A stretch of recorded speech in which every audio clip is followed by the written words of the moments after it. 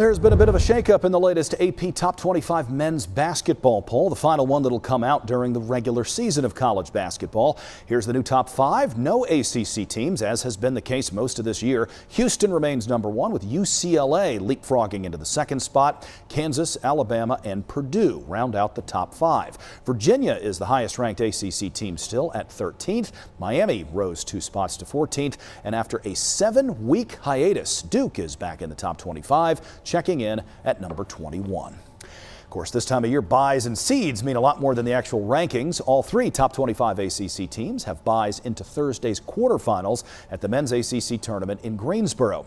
It begins tomorrow with Florida State and Georgia Tech tipping the event at 2. Boston College and Louisville will follow, with Virginia Tech and Notre Dame finishing up the opening round. Wake Forest, Carolina, and NC State are all scheduled to play in the second round, which is Wednesday.